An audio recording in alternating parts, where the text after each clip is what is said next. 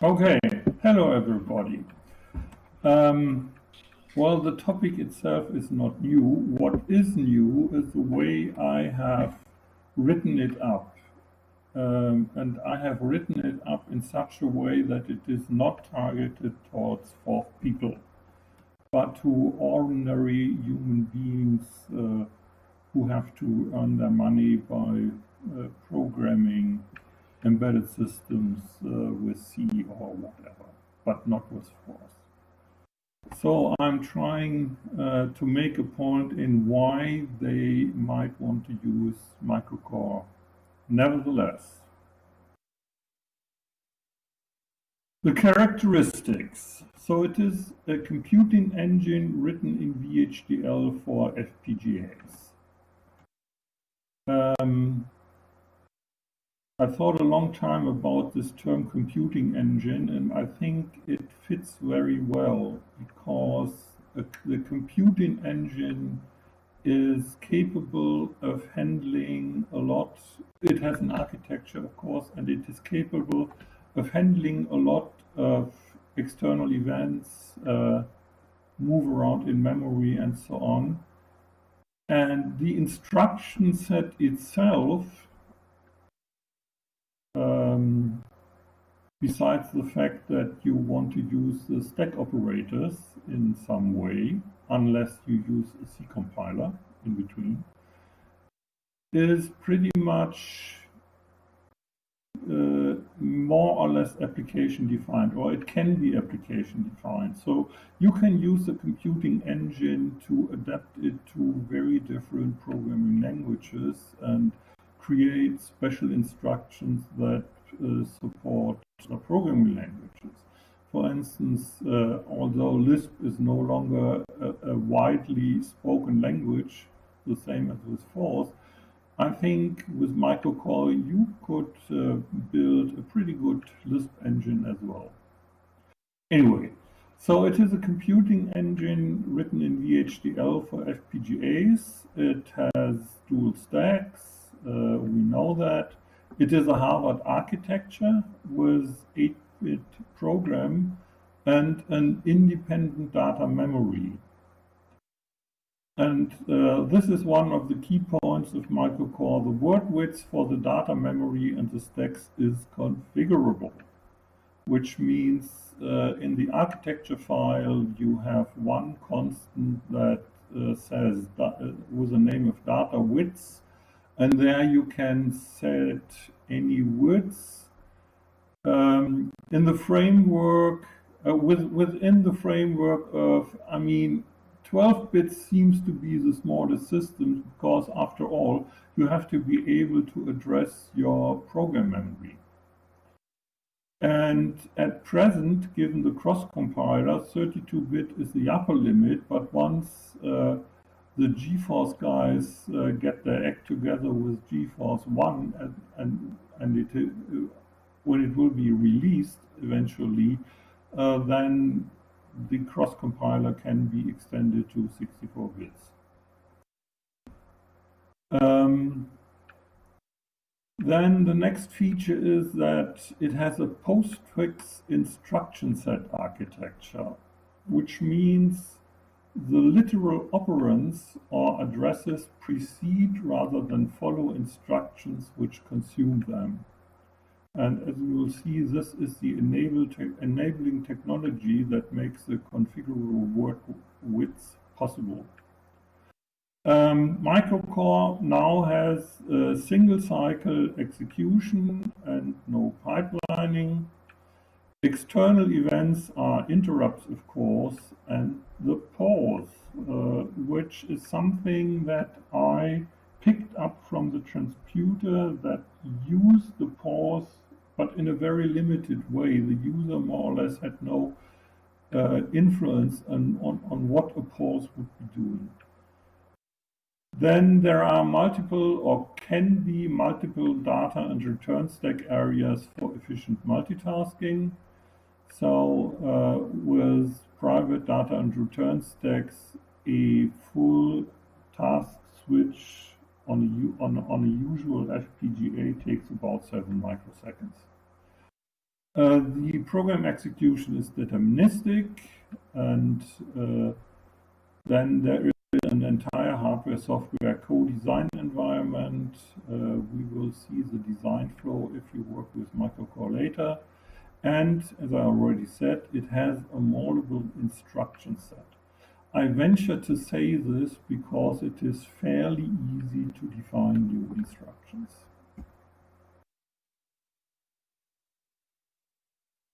So, the architecture. Um, do you see my cursor on the screen? Hello? Hello? Yes, yes, I see it. Yes, we see it as a red okay. dot. Well, we have the program memory here, and we have the data memory there. And here we have the data stack. The return stack shares memory with the data memory, and uh, the reason why I did this is twofold. For one thing, there are hardly any instructions that need to access the data memory and the return stack at the same time. And secondly, if the return stack is in data memory, you can build return stack frames that you can access through fetch and store. And the as you can see, the data stack is completely decoupled from the program memory. The program memory is always at its wide. It has an address register. That, that is new in microcore now. It, microcore used to have an instruction register, and uh, that was unfortunate because in FPGAs the block RAMs are built in such a way that you need, if you do a fetch, you need to latch the address first, which gets latched inside of the block RAM, and then in the next cycle, you can access the memory. So instead of the instruction register, I now have an address, a, a program address register. And I mean, it pretty much looks like, like the uh, usual virtual machine of Forth and then there are a couple and an extensible list of memory mapped registers, which are the status, the data stack pointer, return stack pointer, interrupt flags, flags in general, even those that don't generate interrupts, a version register, which tells you which VHDL version you are running there, a debug register that allows you to run the an, an umbilical link between the host and the target computer, a timer that gives you uh, time units. Usually, I do it. I run it at 250 microseconds, and a control register that you can use to set single bits somewhere.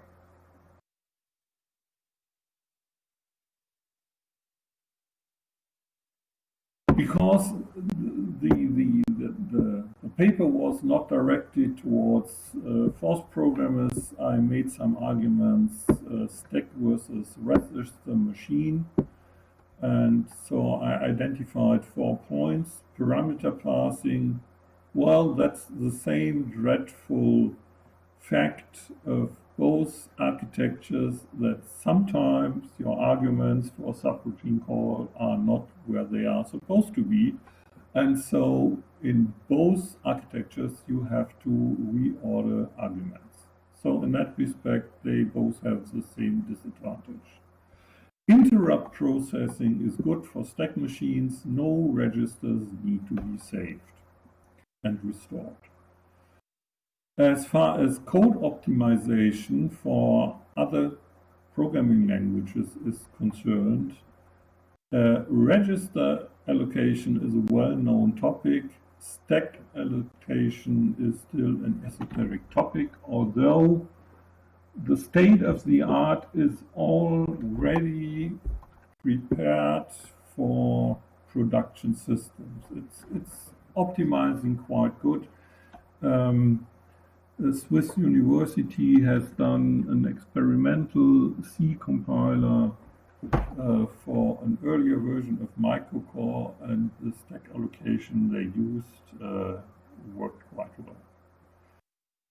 Instruction set impact. So the stack architecture has a very big advantage in that you do not need a register address field. So in a stack machine, um, instructions tend to be more compact. Looking at the technical merits, the stack architecture has several advantages, and its major disadvantage is its unfamiliarity. Harvard architecture. So, uh, as I said, microcores instructions in the program memory are 8 bits wide. The data memory is an independent memory with a configurable data width, and microcore has no bytes. Each data memory cell is data width wide, and as long as the data width is larger than 8 bits, you can happily store bytes in a memory data cell. Um, frankly, I believe uh, that the fact that most processors deal with bytes is a very unfortunate fact because it makes the hardware more complex than it needs to be and it doesn't really buy you any advantage with the exception that you can compress data easily, which was, I mean, which was an issue uh, in the last century, but no longer in the 21st century. Postfix instruction set. This is the enabling technology for the configurable data width because the data width is completely un, I mean, the actual data width is completely unused in the opcodes. Nowhere does it have some bearing on, on the uh, coding of the opcodes. And the reason for that is that once an 8-bit opcode has the most significant bit set, then this is not an opcode, it is a, it is a literal or a part of a literal. So in the table below, you see um, two columns called lit flag and MSB. So the MSB means if the MSB is set, we have a literal instruction. And if it is not set, we have an opcode. And the lit flag is a flag in the status register which tells you what the previous instruction was, whether the lit the, this, the MSB in the previous instruction had been set or not. And so we have four different cases. The first one is an opcode that does not need a literal. There was no preceding literal, and the opcode itself, of course, is not a literal, and it doesn't need a literal, period. Then the lit flag may not be set, but then we encounter a literal instruction, and that means that the least significant seven bits of the literal instruction are pushed on the stack as a two's complement number in the range minus 64 through 63, and the lit flag is set. And the next case is, or let's go to the last case. So by way of, of this situation, uh, we wind up here, which means we had a literal instruction already in the previous instruction, and now we have another literal instruction following. And this is the mechanism by which the magnitudes of the numbers can be extended. So if we have only one literal instruction, we have the number range minus 64 through 63. If we have two, we uh, go from minus 8,000 to plus 8,000 and 3 and so on. So that way you can construct on the stack a number of any magnitude. And that makes the microcore instruction set independent from the data workers.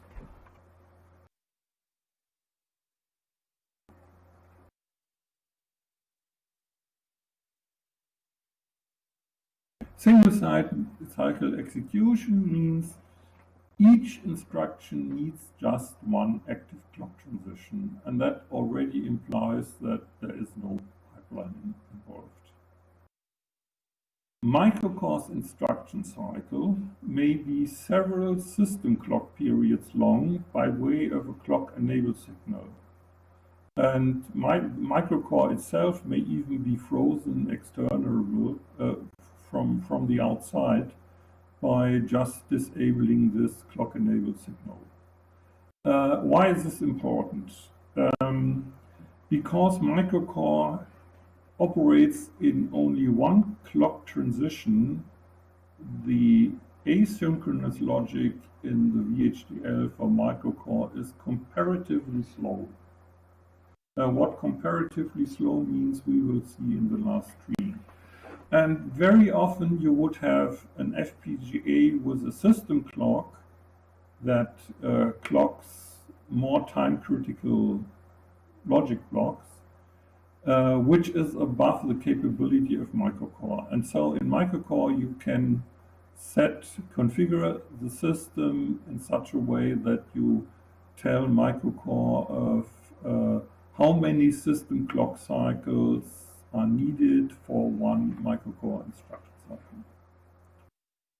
And another deviation from the single cycle execution is, for instance, the read access to FPGA block RAMs. As I said, this is a two cycle, uh, needs to be a two cycle operation because in the first cycle you have to latch the address, and in the next cycle you can read it. Um, and to this end, uh, I came up with a general instruction chaining mechanism that allows to define uninterruptible multi-cycle code sequences. And that can, for instance, also be used for read, modify, write instructions like store.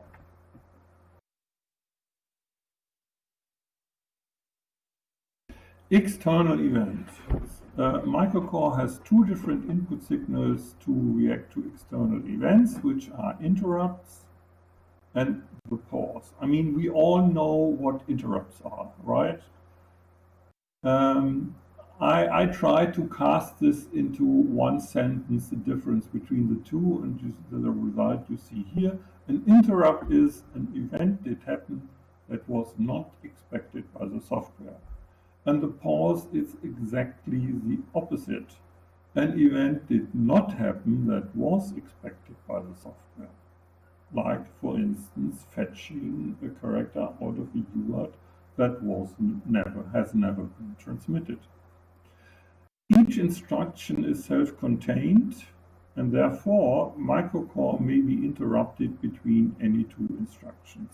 And, and chained instructions um, count as one instruction in that uh, sense. The pause. The pause, I mean, when I implemented the pause, uh, I had a new capability there and I didn't quite know what to do with it.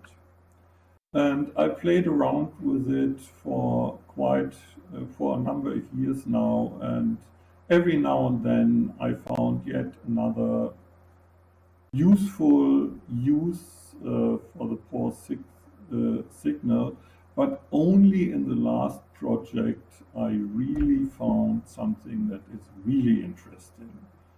And that means in a multitasking uh, system, the pause trap allows to delegate mutual exclusion of resources to the hardware so that you don't have to deal with it in the software any longer and uh, mutual exclusion and handling uh, access to peripherals, I believe, are one of the most error prone aspects of real time embedded systems programming. And that can all be delegated to hardware, and then everything is fine and easy in software. As you can see, uh, starting, let's assume we have an 8 channel, uh, we have an ADC with an 8 channel input multiplexer. then channel number ADC store will start a conversion and then in the next line you can say ADC fetch sample store to fetch the result. And this seems like magic if you don't know the pause mechanism. But the way it works is ADC store will raise, which means the store operator itself, will raise a pause until the ADC is no longer in use by some other task. And in the next line, the ADC fetch will raise pause until the conversion has finished. And that way it is absolutely safe to use peripherals in, in such a simple way. And the last project I have been doing is proof of that. That was quite a quite complex system uh, with altogether uh, five control loops. The hardware-software co-design environment, uh, the VHDL code for microcore on a target system, of course. Then there is the MicroForth cross-compiler and debugging on a host PC. Now that that's the difficult thing. Um, I finally, after a lot of different uh, things I tried, I came up with a Docker uh, solution it loads on top of the microcore slash Gforth 062 Docker image. The reason why I'm using Gforth 062 is that I have I have to use it in order to get the cross compiler and the debugger working the way I want it. I have to heavily interfere with the interpreter and my hope was that recognizers would be a more portable solution, but after I tried that, um, I sat down and wrote a, a, paper that is also part of the proceedings uh, and will be an impromptu talk, uh, poor man's recognizer, because I came to the conclusion that Matthias Trute's uh, version of recognizers is over-engineered and far too complex. Um, okay, that that was my my rant on on recognizers. Uh, so on top of the Docker image, uh, everything works fine. And once uh, Gforth 1.0 is available and will be available on all kinds of distributions, um, I will then port the code to Gforth 1 because that will give me 64-bit access. Because after all, uh, the configurable word width is fine of microcore, but then the cross compiler has to support this word width. And at present, uh, the maximum microcore can do is 32 bits, and that's a limitation of the cross compiler. Then there is the two-wire RS-232 umbilical link uh, that connects host and target. That's pretty much standard. Then um, and and you, you, will have an interactive Forth command line interface mapped into the target that is able to do a lot of things uh, while you are active in the target. It can even uh, compile colon definitions, which will be immediately loaded and can be executed. Then it has a, sing a disassembler, that's nice, but it also has a single step tracer, thanks to Uli, who has done this a couple of years ago. And I now regard this as absolutely indispensable for stack checking, or otherwise I would not be able to write code where I have the feeling that everything is okay. Both microcore itself and the microForth cross compiler are based on a single file, which is the architecture package VHDL file that defines the architecture and all the opcodes. And because of this, uh, it is a co-design environment because you have one place where you can change anything and then both microcore itself and the cross compiler uh, will draw on that uh, architecture information. And so you will never run in the situation where you produce code with a cross compiler for a version of microcore that you use a week ago or so. The design flow. As I said, this is this VHDL architecture file, and it uh, is the basis of both Forth cross compiler and uh, the microcore, the core itself. Uh, here I said microcore and application interfaces. Application interfaces means all the peripheral devices you have in your application design. And then the VHDL code itself may be uh, processed by two different uh, programs. One is the VHDL simulator, and the other one is the synthesizer to produce actual configuration information. And the Forth Cross compiler is also capable of producing different output formats, and one output format is that it produces code for the program memory in the VHDL simulator. So you can happily simulate Forth uh, programs uh, with the VHDL simulator. And the other output is a binary image uh, of your cross-compiled code that uh, is loaded through the debugger and the umbilical into the FPGA that, of course, must have been configured before. And then you use the umbilical to do your debugging. Now you have Forth code as the input to the Forth cross compiler, or that is not yet operational on the latest uh, microcore version. Uh, you may have C code and a C compiler that produces, uh, yeah, we made the decision that it produces Forth code, and then you use the Forth cross compiler for peephole optimization.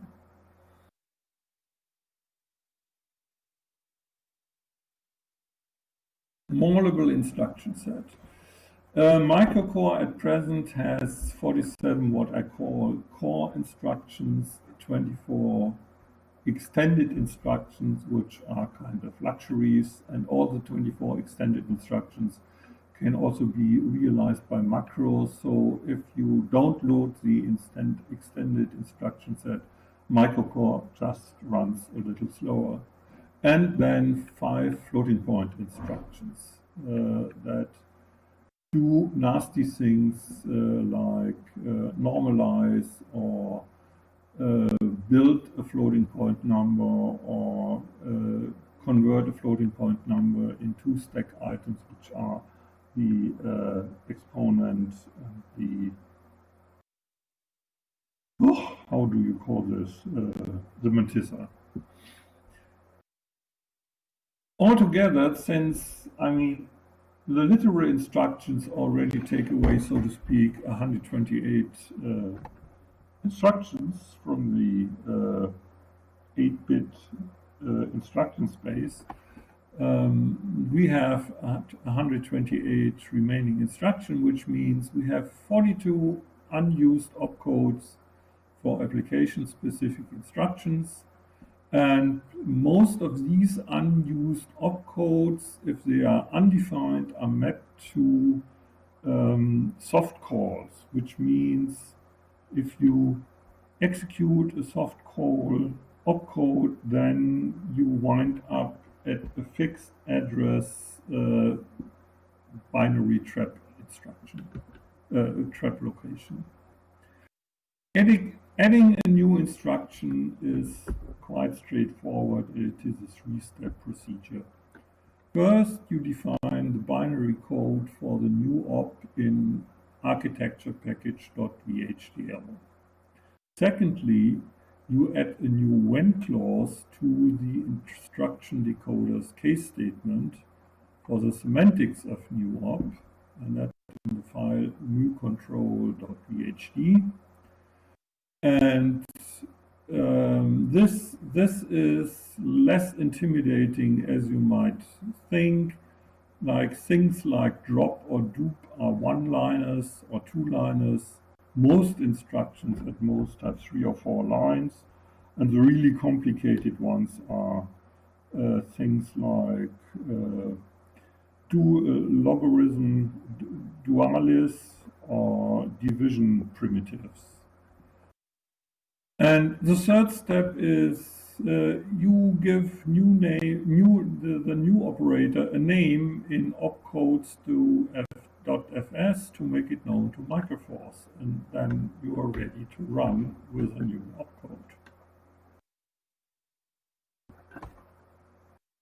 Instantiations. Microcore has been ported to uh, Xilinx, Lattice, Altera, and Actel Microsemi FPGAs and I made uh, some reference instantiations using a Lattice LFXP2-8 compared to contemporary FPGAs. It's a small one. And so uh, we have the column instruction set that says it is either only the core or the extended or extended with floating point and then different word widths 16 bits 27 bits 32 bits. Well you might ask why 27 bits? It's very easy. If you look at the block RAMs in FPGAs they are not 8 bits wide they are 9 bit wide. Because somebody at some point thought that it might be useful to have um, uh, an, an, an extra uh, a bit for error detection and therefore I mean why throw away this extra bit? And so if your data memory consists of uh, three times the block RAM width we wind up with 27 bits. So this is why 20 so actually I mean usually it would be 24 but uh, due to this uh, feature of block RAMs, it's uh, 27 bits, which is nice because if you work with real signals, the, the, the best resolution you could possibly get from A to D converters is 24 bits. And so to have 27-bit data words is nice because you have extra guard bits uh, if you do um, control loop computations on the data. And then the, the last one is a 30-bit, a 32-bit implementation. Um, so the next field is slices. Slices is the number of logic block elements used in the FPGA. And you see, I mean, if you pack in more functionality, and more bits, the number of slices you need goes up. But uh, compared to contemporary FPGAs, this is not much. Then both the data memory and the program memory are internal programs. So externally, the FPGA does not have any memory uh, connected. It is uh, a self-contained uh, microcontroller with its own memories. And so the data memory is also, if you have a wider word width, uh, the data the, the, the, block RAM memory in this LFXP28 is rather limited. So we have from 6K to 3K data memory, and we always have 8K program memory, which is a lot. I mean, a microcore is is comparatively very dense code. And in the last application with five control loops, I used uh, about 10 kilo instructions uh, for the whole thing to work. And that these here in the last column are the maximum clock frequencies you will get uh, out of the different configurations. And as you can see, 25 megahertz will always work. So you have a processor cycle time of 14 nanoseconds. Okay, that was it. Uh, thank you for uh, your attention and it's time for questions.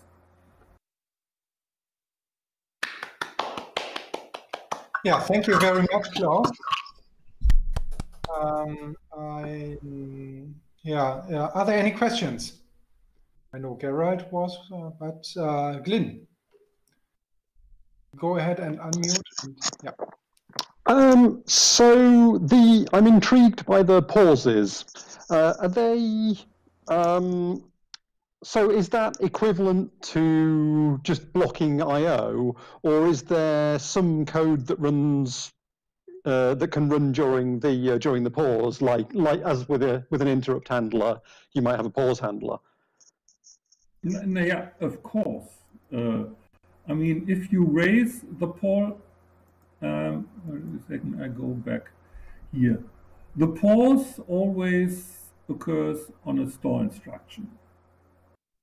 And so the ADC is addressed and you try to store into the ADC, but since, I mean, I have written the interface code for the ADC myself, I know when the ADC is busy or not. Uh, by the way, with, with many, many ADCs, this is equivalent to the chip-enabled signal of the ADC. And so the store is begun. And then I find that the ADC is busy and I raise the pause line, which means, and, and, and the action of this is that no, in that in the present cycle, no results of the operation are latched. So I do not do actually, I, I actually do not do the store. Instead, I do a call of the pause trap or a, a, a, branch to the pause trap. And then in the pause trap, I mean, I you have whatever you want to do there. If you have a single task system, you define the pause trap as a semicolon, as an exit. And then it cycles on this very location in program memory and continually tries to do the, the store until finally the pause goes away and the ADC can be started again. But if you have a multitasking system, then you would just call the scheduler and do something else there. Mm -hmm. Thank you very much. Um, are there other questions? Okay, I know Gerald, you wanted to ask something. Yes, thank you. I actually want to add to the same topic, Klaus. I also wanted to know more about uh, the pause and the ADC.